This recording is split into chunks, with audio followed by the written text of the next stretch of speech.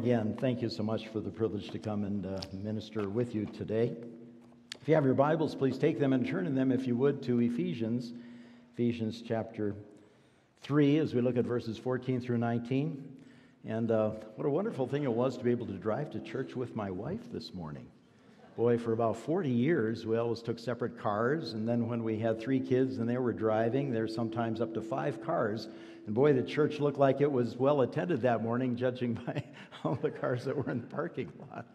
And, uh, and uh, so now, anyway, it's, uh, it's glad. And, and uh, I don't know if Sharon, it's most of you know her, but some of you don't. But here she is over here.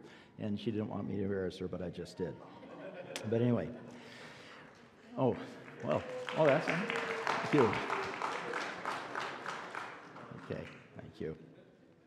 Well, there's a famous British Bible scholar of several generations ago named William Barclay. He just has a wonderful commentary and uh, with great historical significance that's uh, used as part of his work and still current today. And he wrote this He said, This world is a disintegrated chaos. There is division everywhere between nation and nation, between man and man. And I think most poignantly says within a man's inner life. Because isn't that where all the strife starts? It's in the heart of man, isn't it? Bible tells us the heart is deceitful and desperately wicked. Who can know it in Jeremiah? And certainly the truth of those words that were penned uh, nearly 50 years ago and are sadly demonstrated today, we say, in Eastern Europe, of course, with the Ukraine situation there, Russia. We see it in the Middle East, the ongoing strife there, Iran and whatnot, and the Palestinian Israeli conflict, all those things going on. The African continent, sub Sahara, South Africa, and, and just all the, the famine and the fighting and everything that goes on. We see it in our cities, our nation's capital, our suburbs, our streets, on our school campuses, in our homes, on the evening news, and then again in ourselves, in ourselves, don't we? Barclay continues, though, he says, It's God's design that all the discordant elements should be brought into one in Jesus Christ. But that cannot be done unless the church carries the message of Christ and of the love of God to every man. And certainly, again, those words were true in Barclay's day, ever so true today. The message of Christ, the love of God, is the good news, the gospel as we've just observed in a very literal, physical form. Jesus Christ dying on the cross for sins, for the sins of the world, rising again, and salvation simply by receiving his free gift of eternal life by faith. The message, the gospel, is the power of God unto salvation, the scripture tells us, Romans 1:16. It's a power that's released, we see, though through prayerful dependency on God. And we're talking about prayer today. We know, of course, Jesus in his humanity ministered in the power of prayer to his Father.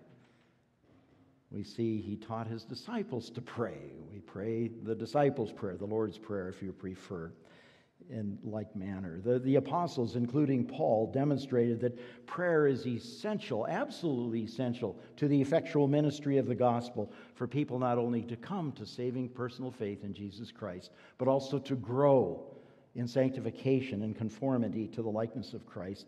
And for us, prayer for true spiritual power, God's power in our lives is essential. But the question I ask of myself and of us as an assembled body as well is do we pray as we know that we ought? Do we pray as we know that we ought? I'm privileged to be. Uh, part of an ongoing prayer group that's met for, I don't know, probably over 30, maybe 40 years. And right now it's being hosted right here at Red Rocks Fellowship on Wednesday mornings. And so uh, I, I join with uh, Pastor Matt and a number of others, pastors, Christian leaders in the area. And this week, uh, Shane, who's a pastor, elder at another church, small group leader, uh, told about his experience a number of years ago at his former church at an elders meeting. The, the pastor went around the circle and he asked each of the elders, How much do you pray? And one of the elders spoke up, Well, I pray about three times a week. Another said, Well, about 15 minutes a day, something like that. And, and uh, the rest answered in a similar way. And, and Shane said he was just absolutely stunned. Here are the spiritual leaders of the church. And is this all they pray? And he said, From that time on, he was just radically transformed in his own prayer life as well as he is today. And so today, as we come to uh, Ephesians here, chapter 3, verses 14 through 19, we consider just the wonderful prayer of the many wonderful prayers of the Apostle Paul, and of course, of the many wonderful prayers in the scriptures uh, that are examples to follow. Now, keep in mind that in context, the Apostle Paul has explained to the Ephesians uh, the mystery, the mysterion, which is, is a truth formerly concealed but now revealed, and uh, revealed through the Apostle Paul about Jews and Gentiles being called together in one body, unified in Christ. And he has affirmed his apostolic call to proclaim that message. He's extolled just the wonderful things that God has done for the Ephesians and us by application in our salvation by grace through faith in Christ and in his body, the church, and, and the great privilege and opportunity that we have through Christ in prayer. As he said in the preceding context in chapter 3, verse 12, it says, In him and through faith in him, that's Jesus, of course, we may approach God with freedom and confidence. And this freedom and confidence in prayer motivates the Apostle Paul to prayer, as we see picking up in verse 14 here of Ephesians. It says, For this reason I kneel before the Father, from whom his whole family in heaven and on earth derives its name. I pray that out of his glorious riches he may strengthen you with power through his Spirit in your inner being, so that Christ may dwell in your hearts through faith. And I pray that you, being rooted and established in love, may have power, together with all the saints, to grasp how wide and long and high and deep is the love of Christ and to know this love that surpasses knowledge, that you may be filled to the measure of all the fullness of God. Father, as we look at these words penned through the Holy Spirit inspired mind and heart, and ultimately through the quill of the Apostle Paul, uh, Lord, your word is living and active, sharper than a two edged sword. Do its work in my heart and each of our hearts and lives. Lord, that we may be equipped, furnished unto every good work, and especially motivated and enabled more through this example of prayer and the power of your word to pray as we ought. I ask it in Jesus' name. Amen. You think what a magnificent, majestic prayer of spiritual depth. that just stands in such contrast to the so often shallow and self centered nature of my own prayer life, I admit. Uh, we, we see that Paul's uh, selflessness in prayer here on behalf of the Ephesians just stands in marked contrast to the prayers that I often hear for the earthly concerns, which uh, so often occupy our prayer lives. And uh, let me quickly say, no doubt, Paul was just immensely concerned for the Ephesians' trials and troubles. They, they, they had issues, they had challenges like the rest of us have, you know, sickness and sorrow and painful losses and, and grievous things that happen and the like. And Paul cared, and God cares about the things that concern us too. The hairs of our head are numbered. He sees every sparrow fall. Yes, yes, uh, we don't ignore that at all. Uh, but nonetheless, we see that just the petitions of this prayer just transcend just the earthbound, superficial focus that seems to characterize and preoccupy the prayer life of so many people, and yes, Christians included as well. This prayer, as I mentioned before, along with the many other wonderful prayers of the scriptures, presents just such a high pattern for us to not only follow, uh, but also to fulfill the, the desperate need that I have, that we have for spiritual power, both to apprehend and experience the love of Christ in the far deeper way. As Paul wrote, for this reason, for this reason. For what reason? If we could scroll ahead in the uh, outline here. He says, Paul has just explained how God called him to share the gospel with the Gentiles. Here, the Ephesians, that included both Jews and Gentiles, had heard the gospel message from the likes of Apollos, even though they had heard it. He was only familiar with uh, the baptism of John uh, until Priscilla and Aquila took him aside. But they'd heard the message from the likes of him and also Priscilla, Aquila, and, and others, no doubt, and believed.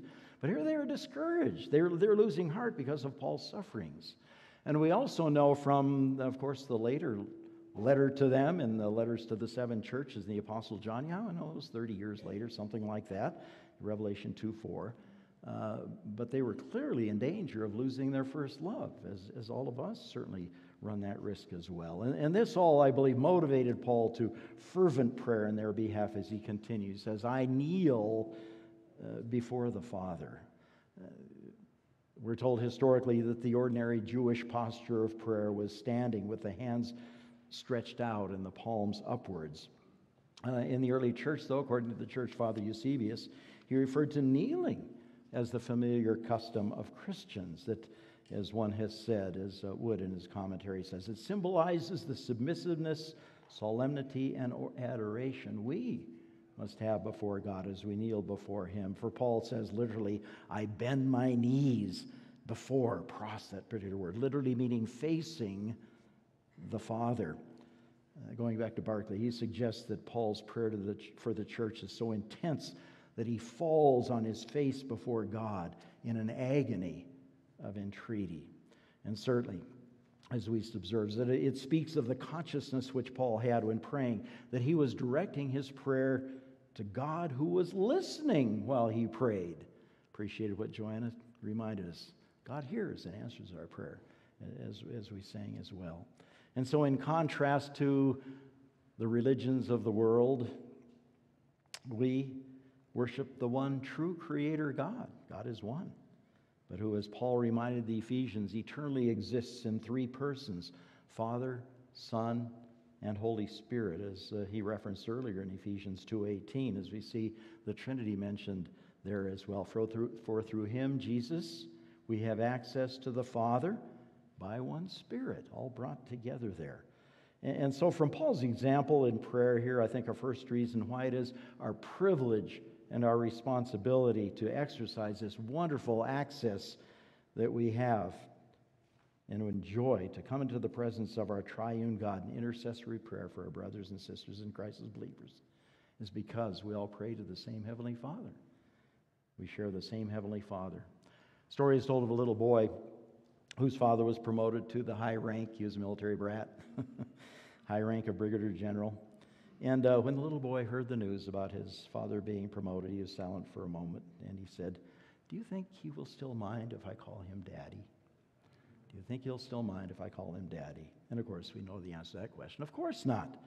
And in that same way, we share the same Heavenly Father. All who trust in Jesus for salvation can boldly come into the presence of our holy God, our Heavenly Father, and pray, Abba, Father, Abba, Father. And so, as believers, we're not only ones who share the same Heavenly Father, we're members of the universal church uh, the body of Christ that consists of all believers in Him everywhere, no matter their distinctives, no matter their labels. We're a part of the same spiritual family, and for that reason, we share that common access to God, the Heavenly Father, Abba Father, which leads to a second and closely related reason to pray like Paul as we work our way through the text, and that is because we belong to the same spiritual family. We not only share the same Heavenly Father, we also belong to the same spiritual family, from whom his whole family in heaven and on earth derives its name. Now, of course, as you come to any text, there's interpretive questions that arise, and uh, uh, there's just a couple of them I might mention. First, people might wonder does uh, that phrase family in heaven, uh, is that referring to angels? Or is that referring to departed saints? Uh, does it infer some sort of a mystical union that we have with them? And Seems to me, though, it's best to understand in context that the whole family in heaven and on earth and includes the spiritual family of believers in Jesus Christ, both on earth and in heaven, all called saints, because he's a holy God who has imputed his righteousness to us in Christ. And so I'm sitting here in the company of a whole bunch of saints. you a saint? Yeah, biblically, to think that uh, Paul is going to immediately contradict what he's just written about salvation back in uh, chapter 2, verses 1 through 9. So, moving along. As I look at Paul's very sublime example of prayer, I see as a first observation, again by application, that like Paul, it's our awesome privilege and our responsibility as well to pray to our Heavenly Father for our brothers and sisters in Christ. If we could move ahead in the outline there as believers in Jesus. Children of God, members of his family of faith, it's our privilege, yes, and responsibility to often come before our Creator and Savior, our Heavenly God, our Heavenly Father, and pray reverently and fervently to Him in intercessory prayer for our spiritual family, as the Apostle Paul prayed for the Ephesians. I think of Tom and Kathy, uh, members here for many years who have since moved away. Uh, I've had the privilege of being in their home on occasion, and their practice then was, as I'm sure it continues as well in their new location, was they had actually had a card file on their kitchen table with the names of missionaries, of family members, of friends, others for whom they systematically pray. And I think what an example they set in the practical way for me and others to follow in faithful intercessory prayer. I, I write prayer requests down in a little spiral notebook. You have your own pattern as well. But we need to be praying, and, I, am encouraged here about the Monday night prayer gathering that's happening here and, uh, and, and, groups as uh, women get together, teens get together, the youth, congregation, men. Prayer is so important, and so that's wonderful. Now, as believers in Jesus, the apostle has already reminded us that in, uh, through Ephesians that uh, we are an undeserving recipients of, uh, as, as we go to the next text there, of Ephesians chapter 1, verse 3, he says, of every spiritual blessing in Christ. He's, we're undeserving recipients of the riches of his glorious inheritance in the saints. He's talked about God who is rich in mercy. Uh, do you see a theme here about rich? the incomparable riches of his grace, uh, the unsearchable riches of Christ. Uh, spiritually speaking, in Christ, we're spiritual plutocrats. That's that word, is there in the original. Uh, plutois is that particular word. We are rich, filthy, stinking, infinitely spiritually rich in Him. Uh, not filthy, stinking, that, that was bad, but you know what I mean. Uh, but our spiritual power originates from that same infinitely full storehouse of grace, which is the theme of Ephesians. And so, as we continue into verses 16 through 19, the Apostle Paul presents three interrelated intercessory petitions for the Ephesians, which are certainly applicable for us too. First, Paul initiates this requisition verse 16. He says, I pray that out of his glorious riches he may strengthen you. Let's stop there. This is kratiao, strength. Uh, the same word that's used of Jesus who became strong in spirit uh, back in Luke 180. Uh, in, in his earthly ministry, Jesus relied upon that strength through the power of the Holy Spirit as he continues in verse 16 there, with power through his Spirit. This is dunamis type power, resurrection power as referenced back in chapter 1, verses 19 through 21. He says, I pray that out of his glorious riches he may strengthen you with power through his Spirit in your inner being. In your inner being. You know, popular psychology says we all have an inner child. I don't know. Uh, the truth, biblically speaking, though, is we have an inner anthropos. We have an inner man, uh, literally, that word, inner person.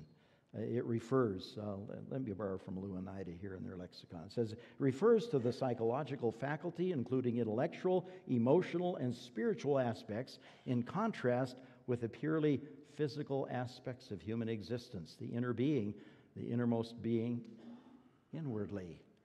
In other words, yes, we are physical and we are spiritual. We have an inner person, an inner man and that we need that power in the inner man. And it's through prayer that we enable that inward power that comes from the indwelling Holy Spirit in every believer, and that we also desperately need for victorious living and the power that results in this end that he prays for, verse 17, so that Christ may dwell in your hearts through faith. Notice that word dwell, meno, that particular word, dwell. According uh, to one source that I checked, you know, no less of an authoritative source than Google, but I looked it up. And uh, according to one, the average length of home ownership is 16 years.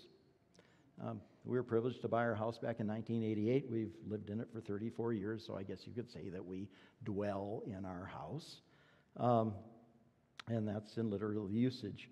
Uh, that word dwell, again, Louw and Nida, means to live or dwell in a place in an established or settled manner, to live, to dwell, to reside. So, do you reside in your house? I'm, I'm sure you do. Uh, according to another source, this is gratuitous, but uh, the average length of home ownership, according to them, it was 13.2 years. And the same source, again, this was for free, claimed that the poor and the uneducated tend to stay in their homes any longer. I kind of took that personal. and I was thinking to myself, do you suppose they're including people like Warren Buffett, one of the richest men in the world, who is, continues to live in the same relatively modest home there in Omaha that he purchased in 1958 for $31,500? Are they thinking about Warren Buffett? You know? I've been to a little school, you know, uh, but anyway, that was okay, I vented. Uh, Christ is to dwell in our hearts by faith, not as a transient guest, but to abide, to reside in our inmost being. And the question is does Christ dwell in that way in your heart and in mine by faith, or is he more like an occasional guest, uh, a visiting tourist? Or, is he a permanent residence who meno dwells? And for him to dwell in my heart and life and yours takes prayer. And so we come to three, what I'm calling power petitions that Paul teaches us to pray. And the first is for Holy Spirit power for Christ to dwell in our hearts. Kenneth Taylor, in his New Living Translation, renders it this way. I think you've got it up on the screen there. He says, I pray that from his glorious, unlimited resources, he will empower you with inner strength through his Spirit. Then Christ will make his home in your hearts as you trust in him. Is Christ at home in your heart and mind? There's a sign on the uh, entranceway to an English castle that was open to the public for tourists. It reads this way It says, It is the duty of the host to make his guests feel at home. Yeah, that sign says it's the duty of the host to make his guests feel at home. And then it goes on to say, kind of dry British humor here. It says, It is the duty of the guests to remember they are not at home. it's the duty of the guest remember they're not at home. And uh, Pastor Steve Cole, who I stole this from, he observes, he says, with regard to Jesus Christ dwelling in our hearts, the first part of that duty applies to us. We need to make Christ feel at home in our hearts. We need to make Christ feel at home in our hearts. And so I ask, do you and I intentionally pray for Christ to feel at home in our hearts? Or, or do we just presume upon him? He's God, he can do whatever he wants, you know? Uh, or do we embrace the process and participate through prayer? Uh, Cole continues, however, he says the second part does not apply to Christ uh, because he does not come into our hearts as a guest, but as the rightful owner. He bought us with his blood. When he comes to dwell in our hearts, he's taking possession of that which is rightfully his. Early in uh, my discipleship experience, I was challenged by a little pamphlet that was written by Robert Boyd Munger entitled My Heart Christ's Home. My Heart Christ's Home. How many of you read that? Are you familiar with that? It's one. Yeah, it's a classic. I mean, that was 50 years ago, and they're still reading it today. Wow. And, uh, you know, he takes us on the tour of the various rooms in the home of our heart the workroom, the living room, the dining room, the bedroom, the closet, so forth, with the question Is Christ at home in every room of our heart? Or are the doors to one or more of the rooms locked and we hold the key to that room? We haven't quite given it up yet. You know, we ask, What about our hopes? What about our dreams? What about our ambitions, our desires? J. Hudson Taylor, China Inland Mission, now OMF, he says, If Christ is not Lord of all, he is not Lord at all. If Christ is not Lord of all, he's not Lord at all. Well, Paul continues, and I pray that you being rooted, the idea is to become strengthened with focus upon the source of such strength, firmly rooted. I think of a tree with that center taproot just driven deep into the rich and nourishing black humus soil, particularly of love. I pray that you being rooted and established the idea, is to be grounded, the, the foundation for. You think of a solid foundation on a bedrock of love, in love. And boy, it's 11 o'clock. When does the trapdoor spring here? I got to. I've heard that Matt, Matt sometimes goes over. Do I have that privilege or can I? Oh, okay, all right. Well, I don't want to get in trouble here. Uh, he might not invite me back. But uh, you know, the Greek language has several words for love, at least four of them that have been kind of popularized. Of course, there's eros, love, uh, uh, what's the sensual romantic love, erotic, uh, that word comes from it. That's the kind of love our associate, uh, our culture associates most with the concept. Uh, a word that does not, of course, appear in the New Testament. A storge love um, in the New Testament appears twice. That word storge, astorge, alpha privative, which refers to natural human affection, which will be lost in the latter days. Uh, we're in the latter days, aren't we? Astorge love. Uh, the phileo love, filial, uh, we think of Philadelphia, the city of brotherly love, a word that appears quite often in the New Testament. Of course, the, uh, the big word is agape love, the most common word. And of course, that's what the word the Apostle Paul uses here as well agape love. Of course, defined and explained thoroughly, 1 Corinthians 13, the love chapter. Uh, John 3:16, for God so loved the world, agape love, that he gave his only begotten Son, that whosoever believeth in him should not perish, but have eternal life. This is not a natural love, it's a supernatural love. It takes prayer, power of the Holy Spirit, uh, not only to bear this, what it would be the first and foremost fruit of the Holy Spirit, Galatians 5.22. Fruit of the Spirit is what? Agape, love, joy, peace, patience, kindness, you know, on and on. Um, but to be rooted and grounded love as well for this important end, that we may have power verse 18, to grasp how wide and long and high and deep is the love of Christ. And the, the Apostle Paul, of course, here is telling us that the love of Christ just exemplified in his grace to the Gentiles and the Jews as well, and uh, to be all included together. It's too large to be confined by any geometry. I was never good at geometry. I know we have some engineers here. Uh, you know, you're good at the math and all that. I never gained a grasp of it. I, I was kind of like, what does a liberal arts major say, you know, his career? You know, do you want fries with that Happy Meal? You know, that, that's me. But not only, you know, through prayer, we can grasp the geometric dimensions of Christ's love. As, as one has said, and, and these are all based on references through Ephesians, it's wide enough to reach the whole world and beyond, as set forth in chapter 1. It's long enough to stretch from eternity to eternity, again in chapter 1 and chapter 3. It's high enough to raise both Gentiles and Jews to heavenly places in Christ Jesus. We are sitting in the heavenlies, you know, looking down, positionally in Christ. It's deep enough to rescue people from sin's degradation and even from the grip of Satan himself, as Wood says in his wonderful commentary. That's the love of Christ. And it's the love that he has for a unified, united body for those who trust in him as well, personally as individuals. That, that's kind of a scholarly quote from a commentary, but somehow it doesn't maybe quite touch the heart, like that little Sunday school chorus that I remember from childhood, and you do too know well, you know, Jesus loves me. This I know, for the Bible tells me so. Little ones to him belong.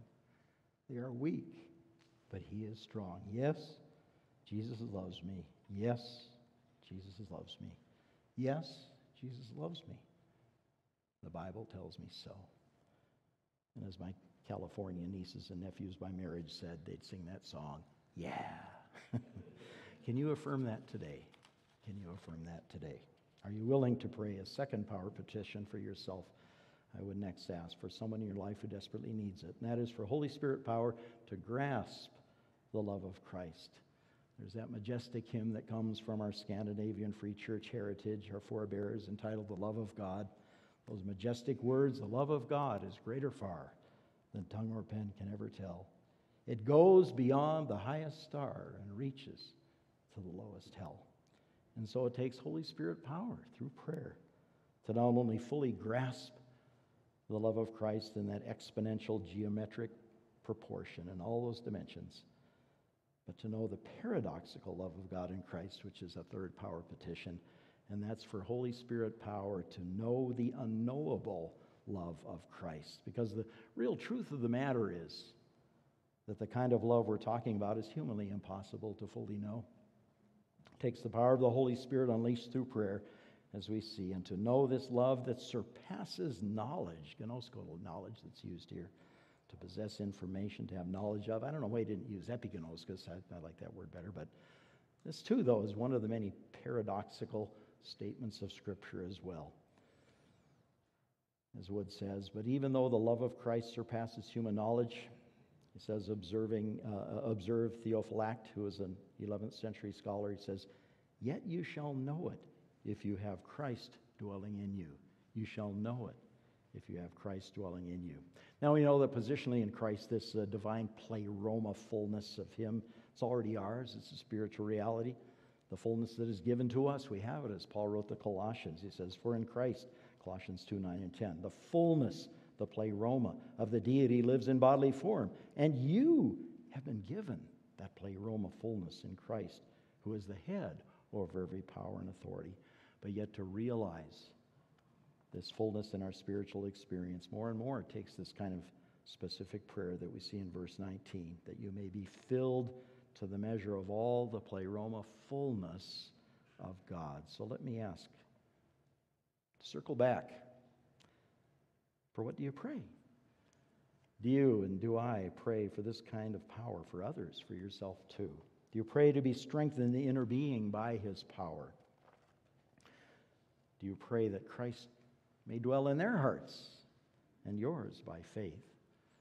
Uh, do you pray that they and you might be your wife, might be your husband, might be your son, your daughter, your employer, your neighbor who's a believer, they may be rooted and established in love, and that do you pray that all of us will be enabled to grasp the love of Christ in all his dimensions his love for us, his love for the world, his love that he has for us to demonstrate in our sacrificial actions and words for others, for a lost and dying world? Do you pray that we may know this kind of love that surpasses knowledge, and since God is love, to be filled to all the measure of the fullness of God in this respect? And so, like Paul, in closing, it's our awesome privilege and responsibility to petition our Heavenly Father for Holy Spirit power for our brothers and sisters in Christ in this way.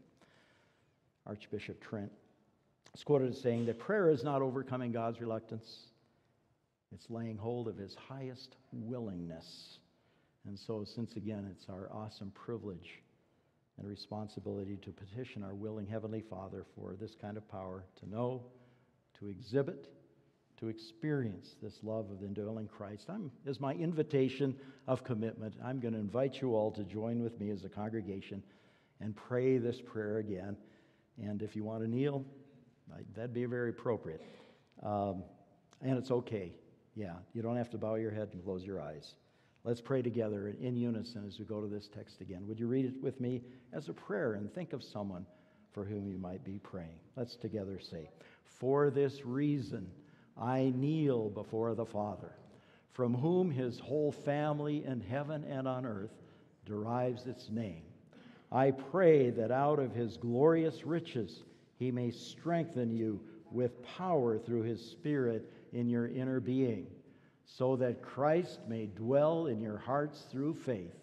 And I pray that you, being rooted and established in love, may have power, together with all the saints to grasp how wide and long and high and deep is the love of Christ, and to know this love that surpasses knowledge, that you may be filled to the measure of all the fullness of God. And all God's people said, Amen. Amen.